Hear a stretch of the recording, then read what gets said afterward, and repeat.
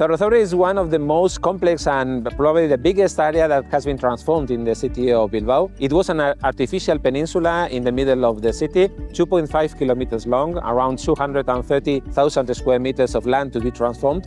We want to be this uh, island, a net zero emission island, and uh, we want to build new uh, systems, not only to be an island of net zero emissions, but also, if we are able for, for that, to create and promote renewable energy for the neighborhoods that they are surrounding this island of Cerro Zorrotzaurre.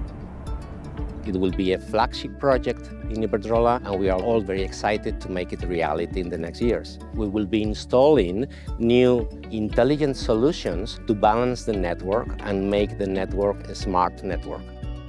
A smart grid goes beyond the buzzword. The smart grid is a new paradigm to understand the new way to generate, distribute and consume electricity.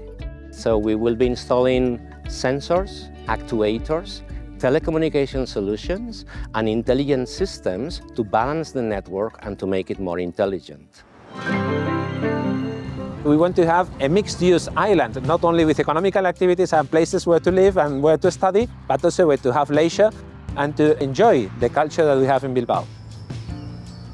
We think this kind of uh, living lab, we could define Zorrotzaurre as uh, some kind of living lab in which a number of new technologies around uh, renewable energy uh, generation, smart metering, the monitoring of the grid and digital management of all the services, flexibility from the consumer's point of view, electric vehicle recharging. So all these kind of solutions that we could include in the energy transition solutions are tested in a real life place with real customers we will be building a new 132 kilovolt substation that will expand our network and will serve the needs for the new demand that is being developed there.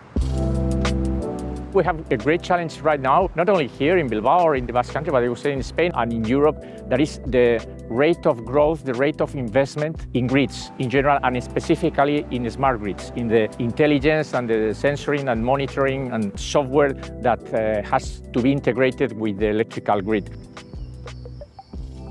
We are humble and we understand that the technology will evolve and new solutions will come to the market, but that is not the main challenge. The main challenge is the lack of investment. And in order to invest, we need certainty, we need predictability, and we need a good enough return. And that is key for the energy transition to take place. I think uh, Zorrotzaurre Island is a very good example of what the Basque people try to develop for the future, not only in Bilbao, but also in the whole uh, Basque country, creating also new activities connected with the renewable energies.